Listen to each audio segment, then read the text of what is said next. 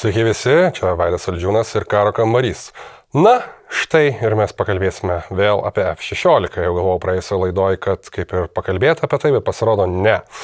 Kai tik tai pasirodė žinios, kad Danija, Niderlandai pradeda mokymus, nuvažiavęs Zelenskis aplankė abi dvi šalis, Ir tada pasipylė viskas. Jau tuoj bus, jau tuoj gaus Ukraina F-16, jau praktiškai gavo, Zelenskis jau pats skrenda į Ukrainą su F-16 ir jau viską padarys. Laimės karą, sudubastins rusus ant žemės, ore numuš visus rusų bombonešius, visas kruizinės raketas. Žodžiu, viskas yra puiku, nuostabu, visi džiaugiamės, kad tik tai kuo daugiau duotų, kur visi yra kiti, ypač kur yra amerikiečiai. Reikėtų, man atrodo, apie tai pakalbėti, kas yra F-16 apskritai, ką šitie naikintuvai gali, e, ko negali, ką reiškia pilotų mokymas ir ne tik tai pilotų mokymas, kodėl minimos skirtingos datos, skirtingi skaičiai ir panašiai.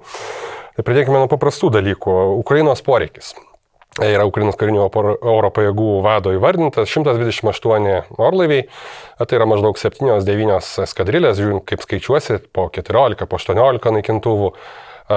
Galima pridėti skaičius, atimti skaičius, ar tai būtų mokymams, ar tai būtų atsarginiams dalims, bet kuriuo atveju šitas skaičius yra pakankamai didelis, vidutinės valstybės, Ukraina, aišku, galbūt reikėtų ir dar daugiau, turint omeny, kad jinai kariauja ir patiriami nuostoliai ir jie bus patiriami, bet kuriuo atveju tai yra pakankamai solidus skaičius. Šito skaičiaus Ukraina kurį laiką, būkime atviri, nepasieks. E, Danija ir Niderlandai, ką jie pažadėjo? Iš viso kalbama apie 42 naikintuvus, e, įvairiai ten mėtomasi skaičiais, arba 42 iš Niderlandų, plus 19 Danijos, ar iš 42 atimam dalį E, Niderlandų naikintuvų, kadangi dalis yra tiesiog atsarginiam dalim palikta ir pridedam 19 Danijos pažadėtų naikintuvų. Bet kuriuo atveju, e, net jeigu jau prasidėjo ar prasideda ar prasidės pilotų mokymai artimiausių metų, buvo čia žinios ir apie tai, kad Graikija e, prisidės prie mokymų, taip pat Rumunija steigė mokymų centrą savo šalyje, Rumunija ta pati, kurie turi visai nesiniai įsigijusi F-16, kuri virš Lietuvos, na, Lietuvos oro erdvė, paskui Baltijos šalių oro erdvė saugo būtent šitais naikintuvais F-16 turi patirties ir netgi, sakykime, dar daugiau patirties tos, kurios reikia ukrainiečiams, kadangi rumūnai yra kitaip negu Danija ir Niderlandai, jie perėjo, pakankamai greitai perėjo prie F-16 nuo senutėlių MiG-21. MiG-21 tai yra apskritai šalto karo laikų liekana, Su jais beje rumūnai Lietuvos oro erdvė taip pat yra saugoję. Ir nuo 2017 metų rumūnų pilotai jau skraido su F-16. Bet ką reikia žinoti apie F-16? Kad, na, paprastas dalykas. F-16, F-16 nėra lygų. Kai mes mėgstame sakyti, kad pažiūrėkime iš tuos rusų skraidančius lėktuvus, tai yra senos karbonkės, šalto karo laikų liekanos, Tai yra tiesa, turint omeny, kad labai daug jų lėktuvų yra pagaminta šalto karo laikais. E, bet e, lygiai tas pats e, pasakytina ir apie šituos F-16, kurie yra Niderlanduose, kurie yra Danijoje ir taip pat kuriuos turi Rumunija.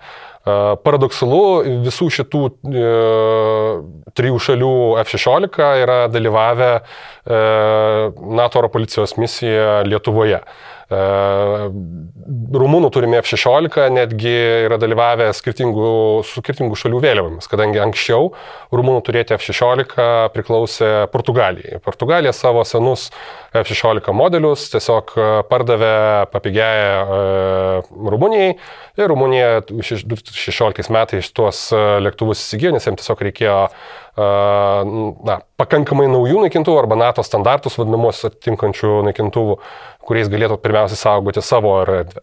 Ir Rumunijos pavyzdys yra svarbus ne tik tai todėl, kad jie perėjo nuo senų sovietinio naikintuvų prie F-16, bet ir, ir tai perėjimo etapas buvo pakankamai greitas, tai reiškia 16 metais įsigijo naikintuvus, 17 metais yra pasiekimas vadinamasis pradinis operacinis pajėgumas, kai tu gali jau vykdyti tam tikras užduotis su naikintuvais, tai reiškia saugoti oro erdvę. Pagrindinė funkcija.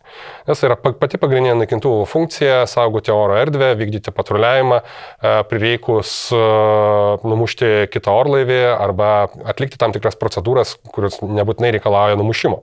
Bet pilotai turi žinoti. Ir tik dar po metų jie galėjo vykdyti, tai reiškia 2018 metais jie jau gavo pilną operacinį pajėgumą, galėjo vykdyti misijas remiant sausumos pajėgas, tai reiškia naudoti naudoti išmanesis bombas, džeidamus, raketas, kurios būtų leidžiamos prieš sausumos, prieš oro taikinius. Žodžiu, multifunkcinės operacijos jau jiems buvo įkandamos. Bet pasiekti tai užtruko pusantrų du metus. Aišku, tai buvo vykdoma taikos sąlygomis ir tai, ką rumūnai gavo ir tai, ką dabar siūlo Danija ir Niderlandai, tai yra seni A, B modeliai. B ir dvietis, A yra vienvietis, bet visa tai yra 90-mečio gamybos naikintuvai F-16. Jie aišku yra modernizuoti.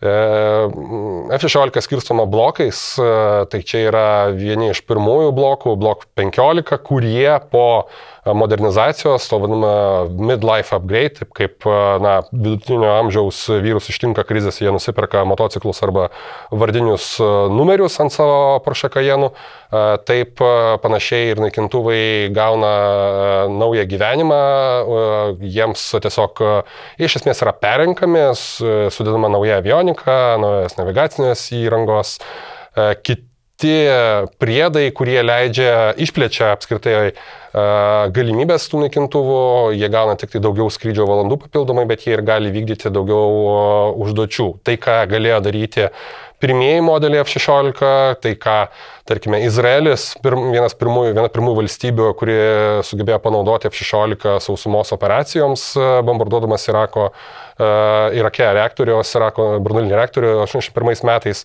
tai kitos šalis visą tai tokią galimybę įgyjo ir pasiekė po gero dešimtmečio. Na, Izraelis turėjo tokį poreikį ir, tarkime, Ukraina tokį poreikį taip pat turi. Tai šitie naikintuvai, kurie, e, kuriuos turi Danija ir Niderlandai, e, AB modeliai, kurie, vadinami MLU, tai yra Midlife Upgrade e, turintis naikintuvai, jie e, gali vykdyti tam tikras e, užduotis tiek prieš oro taikinius, tiek prieš sausumos taikinius ir labai, ribotus, e, labai ribotas e, operacijas gali vykdyti prieš jūros taikinius. E, netgi viešai dabar yra įvardinima, kuo šitie modeliai netgi pranašesni yra prieš turimus uh, ukrainiečių, senus mygus ir Su-27. Tai aišku yra vakarietiška ginkluotė pirmiausiai, bet ir vakarietiški radarai. Uh, arba vakarietiška galų gale elektroninės kovos sistema, kuri leidžia už na, kovoti ore prieš oro taikinius, o taip pat prieš radarus, neleisti jiems aptikti taip lengvai taikinių iš didelio atstumo. Ką rusai šiuo metu gali daryti, yra apšviesti ukrainiečių taikinius iš didelio atstumo, ypač naujausi rusų naikintuvai, su 35, su 30. E, jie gali, turėdami tą pranašumą, iš daug didesnio atstumo aptikti ukrainiečių taikinius, juos pažymėti paleisti juos raketas prieš tai, kai ukrainiečiai dar kažką tai gali patys e, savo e, radaro pagalba pamatyti. Tai F-16 E, tiek e, gynybiniai e, pajėgumai, tiek radaro pajėgumai yra gerokai geresni už bet ką, ką turi šiuo metu ukrainiečiai, aišku. E, gali aptikti taikinius, tarkime, 150 km atstumu, bet savaime tai nedaug ką reiškia, jeigu tu esi ne sistemos dalis. Apie tai šiek tiek e, vėliau, dar pridedant e, apie ginkluotę, tai, na, tarkime, Niderlandų būtent konkretus naikintuvo modelis, tas, kuriame sėdėjo Zelenskis, visi matėme tas nuotraukas, jis yra pagamintas 1988 metais, modernizuotas po dešimties metų. Šitas naikintuvas, patikrinu, yra dalyvavęs kelis kartus NATO oro policijos misijoje Lietuvoje. Taip, šitais naikintuvais ir Olandai, ir Danai, ir, vat, ir Portugalai, dabar ir rumūnai yra saugoję Lietuvos oro erdvę. Taip, jie turi raketas, kuriomis gali kautis prieš oro taikinius, tai yra AIM-9X, artimo nuotolių infraraudonųjų spindulių raketa, kuri reaguoja į šilumos taikinius, o taip pat ilgojo nuotolio raketa AIM-120, tai ką mes gerai žinome kaip AMRAM.